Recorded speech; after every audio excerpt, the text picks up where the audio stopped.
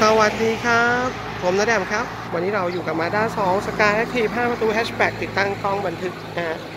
ระบบทัชสกรีนจาก C Dash Cam ครับ เดี๋ยวเรามาดูกันนะครับว่างาน C Dash Cam เป็นแบบไหน เป็นกล้องครอบกระจกนะฮะ นี่ครับ กล้องครอบกระจกภาพสวยๆเลยนะครับ ตัวนี้เป็นระบบทัชสกรีนสัมผัสหน้าจอแล้วนะครับ นี่นะฮะ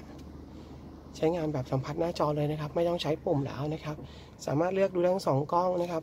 อันนี้เป็นกล้องหลังนะครับ อันนี้เป็นกล้องหน้านะครับก็สามารถหยุดได้เลยนะครับนี่ฮะ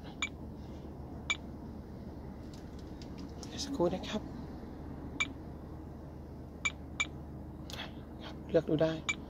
ปรับกล้องได้นะครับ นี่มองกล้องหลังอย่างเดียวนะ เห็นคนเดินอยู่ ภาพสะท้อนนิดนึงนะครับ นี่ครับ หน้าใหญ่นะครับ หลังเล็ก นี่ครับ หน้าครึ่งหลังครึ่งนะครับเป็นระบบทัชสกรีนทั้งหมดอันนี้ดูได้อย่างเดียวครับ นี่หลังนะครับโอเคครับ ปรับไปที่โหมดปกตินะฮะเมนูไทยเล่นง่ายนะครับ C Dash Cam ติดตั้งแบบซ่อนสายทั้งหมดนะครับ เก็บสายเรียบร้อยสวยงามนะครับ